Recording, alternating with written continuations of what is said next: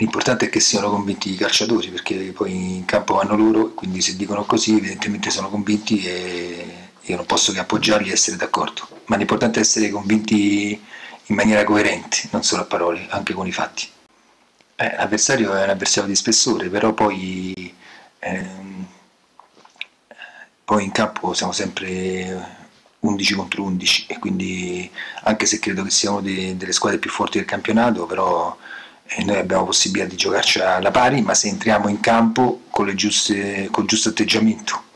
senza, senza timori reverenziali e, senza, e con uh, atteggiamento aggressivo, come siamo entrati in moltissime partite, quindi eccetto due partite, Terni e Pordenone, credo sì, e non abbiamo mai, mai concesso molto agli avversari. In questo giro ci sono molte squadre singolarmente forti, la Triestina è una di queste ma anche noi siamo molto forti. Individualmente dal punto di vista tecnico siamo giocatori forti, se miglioriamo dal punto di vista eh, della convinzione, de, della personalità di testa siamo un'ottima squadra, anche se giovane è un'ottima squadra.